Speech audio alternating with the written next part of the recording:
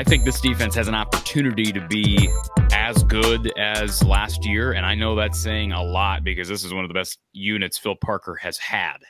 Um, you look at guys like Jack Campbell, Seth Benson, uh, Kaevon Merriweather was a, a veteran in the, in the back end, and they lose all those guys. Plus, they lose a veteran Riley Moss. They lose a first round draft pick and Lucas Van Ness. Am I am I delirious to think that this team, this defense, could be as good as it was last year? I think there's certainly a chance of that. I think one key to whether or not we can get that done is simply this: Nick Jackson needs to be as productive for Iowa as he was last fall for Virginia. If Nick Jackson can do that, that simply means he's clearly made his way into the starting lineup. If he can perform like a starter and be, a, be a productive player as he was last fall for Virginia, then I do think that we'll be in solid enough shape with Higgins as likely other linebacker. Um, you know, we need to get outstanding productivity out of those two inside backers.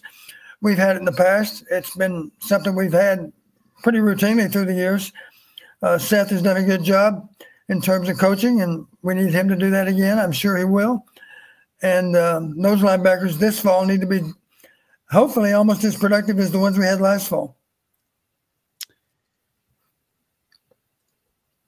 And special teams, Don. I, I, mean, what can you say about LeVar Woods other than he seems to uh, figure it out each and every year? And again, I, I think this is one of the strongest kicking units that he's had, and he's had some really good ones. You think about place kickers, Caleb Shudak, Keith Duncan, Miguel Recinos.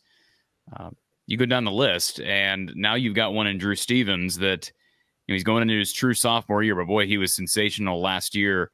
Tory Taylor's back for an extra season as well. They don't have any changes at long snapper or holder. Um, talk about special teams, how important it is at this uh, university. Let me talk about it too in terms of average starting field position. One of the parameters that made the biggest jump from two years ago compared to last year was average starting field position. And to go one step further, it's really interesting to, to hear this and, to, and to realize it was true. As I started charting all it out, Corey, I couldn't, the winning percentage of average starting field position in the first season was not nearly the same as it was when it got cooler in November. Average starting field position became even more important as the season went on. Or to be specific, the first 30 games of the year, conference games, I'm saying, our winning percentage was 73% if you won on average starting field position. Any kind of edge, might have been a yard or two, might have been five or 10. But any kind of edge on average starting field position, you won the game 73% of the time.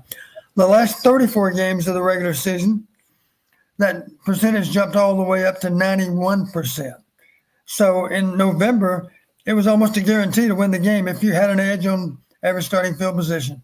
I just thought it was interesting how much it changed from October to November. And of course, some some conference games in there in September also.